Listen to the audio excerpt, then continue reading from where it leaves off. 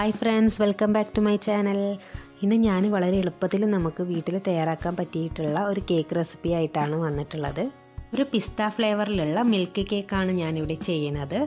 ഇതിനെ ട്രസ്ലി cheese cake അതേപോലെ തന്നെ ത്രീ മിൽക്ക് കേക്ക് എന്നൊക്കെ പറയാറുണ്ട്. ഐസിംഗ് ഒന്നും ചെയ്യാൻ അറിയാത്തവർക്കും വളരെ പെട്ടെന്ന് തന്നെ ഈ ഒരു കേക്ക് വീട്ടിൽ തയ്യാറാക്കിയെടുക്കാം അതുപോലെ തന്നെ ഞാനിത് ഫ്രൈയിങ് പാനിലാണ് ചെയ്തിട്ടുള്ളത്. അപ്പോൾ ഈ പിസ്താഷ്യോ മിൽക്ക് കേക്ക് എങ്ങനെയാണ് തയ്യാറാക്കിയതെന്ന് നോക്കാം. അതിനു മുമ്പ് നിങ്ങൾ എന്റെ വീഡിയോ ആദ്യമായിട്ട് കാണുന്നവരാണെങ്കിൽ ഒന്ന് സബ്സ്ക്രൈബ് ചെയ്യണേ. നല്ല ക്ലീൻ ആയിട്ടുള്ള ഒരു ബൗളിൽ റൂം ടെമ്പറേച്ചറിലുള്ള മൂന്ന് മുട്ട എടുത്തിട്ടുണ്ട്.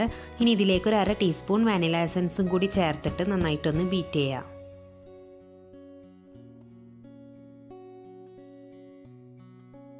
ഇനി ഇത് നന്നായിട്ടൊന്ന് പതിഞ്ഞു വരുമ്പം ഇതിൽ പഞ്ചസാര ചേർത്തെടുക്കുക ഞാനിവിടെ മുക്കാൽ കപ്പ് പഞ്ചസാരയാണ് എടുത്തിട്ടുള്ളത്.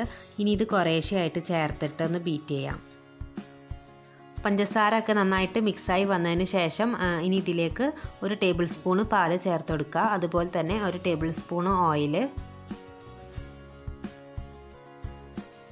ഇപ്പോൾ ഓയിലും ഒരു പാലൊക്കെ നന്നായിട്ട് മിക്സ് ആയിട്ടുണ്ട്. ഇനി ഞാൻ ഇതിൽ ചേർത്ത് കൊടുക്കുന്നത് പിസ്തയുടെ ഫ്ലേവറാണ് നമ്മൾ ഉണ്ടാക്കുന്നത് പിസ്താഷ്യോ മിൽക്ക് കേക്കാണല്ലോ ഇതിന് പകരം നിങ്ങളിപ്പോൾ സ്ട്രോബെറിയുടെ കേക്കാണ് ചെയ്യണതെങ്കിൽ സ്ട്രോബെറിയുടെ മിക്സോ അതുപോലെ തന്നെ വേറെ ഏത് ഫ്ലേവർ ആണെങ്കിലും ആ ഒരു ഫ്ലേവർ ചേർത്ത് കൊടുത്താൽ മതി. ഇനി ഇത് ചെറുതായിട്ടൊന്ന് മിക്സ് ചെയ്തെടുത്താൽ മതി. ഇനി നമുക്കിതിലേക്ക് ഫ്ലോറൊക്കെ ഒന്ന് ചേർത്ത് കൊടുക്കാം ഞാനൊരു അരിപ്പയിലേക്ക് മുക്കാൽ കപ്പ് മൈദ ചേർത്ത് കൊടുക്കുന്നുണ്ട് അതുപോലെ തന്നെ ഒരു അര ടീസ്പൂൺ ബേക്കിംഗ് പൗഡറും കാൽ ടീസ്പൂൺ ബേക്കിംഗ് സോഡയും ചേർത്ത് കൊടുക്കുന്നുണ്ട് ഇത് വേണമെങ്കിൽ നേരത്തെ തന്നെ ഒരു ബൗളിൽ മിക്സ് ചെയ്ത് വെക്കാം. ഞാനിപ്പോൾ നേരിട്ട് ആ ഒരു മുട്ടയുടെ മിക്സിലേക്ക് കുറേശ്ശെയായിട്ട് ചേർത്ത് കൊടുക്കുകയാണ് ചെയ്യുന്നത് ഇനി ഒരു ഫ്ലോർ കുറേശ്ശെയായിട്ട് മുട്ടയുടെ മിക്സിൽ ചേർത്ത് കൊടുത്തിട്ട് ഒന്ന് മിക്സ് ചെയ്തെടുക്കാം.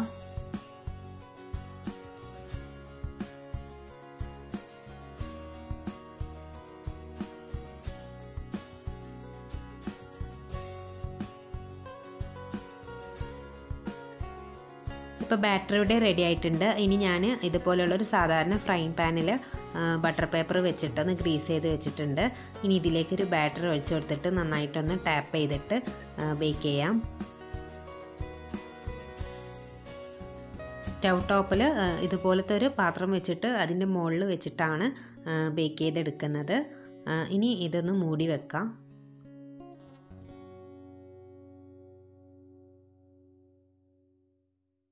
ഇനി കേക്ക് സോക്ക് ചെയ്യാനുള്ള ത്രീ മിൽക്ക് മിക്സ് തയ്യാറാക്കുക. അതിന് വേണ്ടിയിട്ട് ഞാനിവിടെ ഒരു മുക്കാൽ കപ്പ് പാൽ എടുത്തിട്ടുണ്ട്. ഇനി ഇതിലേക്ക് ഒരു മുക്കാൽ കപ്പ് വിപ്പിംഗ് ക്രീം ചേർത്ത് കൊടുക്കാം വിപ്പിംഗ് ക്രീമിന് പകരം ഫ്രഷ് ക്രീം ആയാലും മതി. ഇനി ഇതിലേക്ക് ഒരു കാൽ കപ്പ് കണ്ടൻസ്ഡ് മിൽക്കും കൂടി ചേർത്ത് കൊടുക്കാം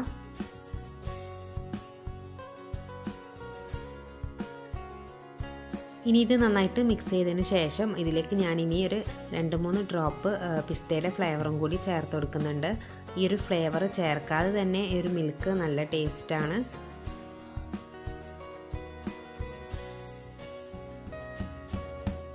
അപ്പോൾ നമ്മൾ മിൽക്കിന്റെ മിക്സ് ഇവിടെ റെഡി ആയിട്ടുണ്ട്. ഈ സമയം കൊണ്ട് നമ്മൾ കേക്കും ഇവിടെ റെഡി ആയിട്ടുണ്ട്.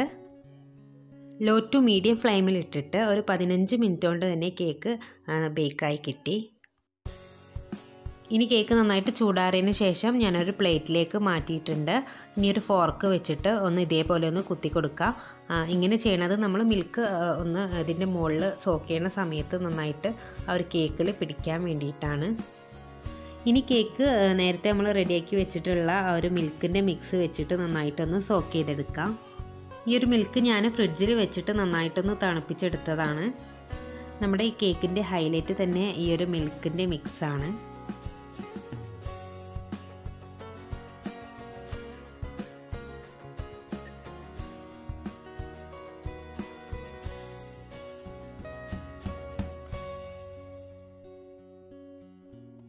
ഇപ്പോൾ കേക്കിന്റെ എല്ലാ ഭാഗത്തും എത്തുന്ന തരത്തിൽ നന്നായിട്ട് തന്നെ ഞാൻ ഒരു മിൽക്ക് ഒഴിച്ചു കൊടുത്തിട്ടുണ്ട്. ഇനി അവസാനമായിട്ട് കുറച്ച് വിപ്പിംഗ് ക്രീം വെച്ചിട്ട് ജസ്റ്റ് ഇതേപോലെ ഒന്ന് ഡിസൈൻ ചെയ്ത് കൊടുക്കുന്നുണ്ട്.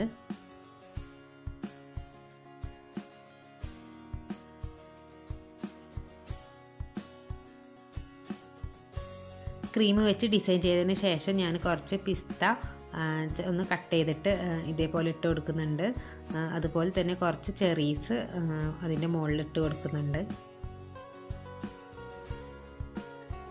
അപ്പോൾ നമ്മുടെ പിസ്താഷ്യോ മിൽക്ക് കേക്ക് ഇവിടെ റെഡി ആയിട്ടുണ്ട്. ഇനി ഇതൊന്ന് കട്ട് ചെയ്ത് നോക്കാം.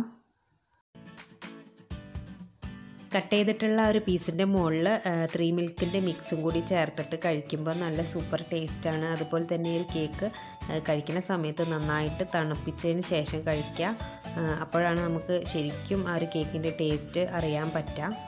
അപ്പോൾ ഇന്നത്തെ ഈ ഒരു വീഡിയോ നിങ്ങൾക്ക് എല്ലാവർക്കും ഇഷ്ടപ്പെട്ടിട്ടുണ്ടാവുമെന്ന് വിചാരിക്കുന്നു. ഇഷ്ടപ്പെട്ടിട്ടുണ്ടെങ്കിൽ ലൈക്ക് ചെയ്യണം ഷെയർ ചെയ്യണം. അതുപോലെ തന്നെ എന്റെ ചാനൽ ഇതുവരെ സബ്സ്ക്രൈബ് ചെയ്തിട്ടില്ലെങ്കിൽ ഒന്ന് സബ്സ്ക്രൈബ് ചെയ്യാം ഇനി അടുത്ത വീഡിയോയിൽ ഒരു അടിപൊളി റെസിപ്പി ആയിട്ട് കാണാം.